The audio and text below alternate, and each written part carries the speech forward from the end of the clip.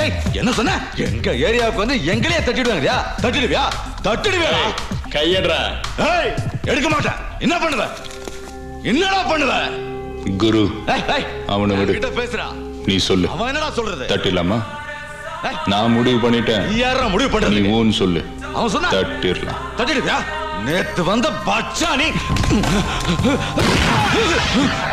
எப்ப வந்தன்றது முக்கியம் இல்லடா. புல்லட் எப்படி இறங்குதுன்றதுதான்டா முக்கியம்.